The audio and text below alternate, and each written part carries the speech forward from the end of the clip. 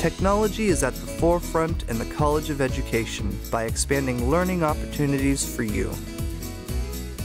Our iPad initiative has saved students well over $600,000 on textbooks over the last five years.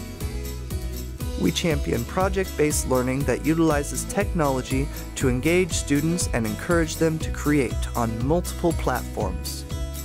From curriculum and research to varying media platforms, we are always advancing our techniques. The Catalyst Center, the hub of our college with a flexible seating study area with an IT desk, library, whiteboards, and more, where you can try out teaching tools, create items for your students, or sit back and relax between classes. We not only prepare teachers to use current technology, we teach you how to infuse it into lesson plans to make kids active creators. EdCats, educators powered by purpose.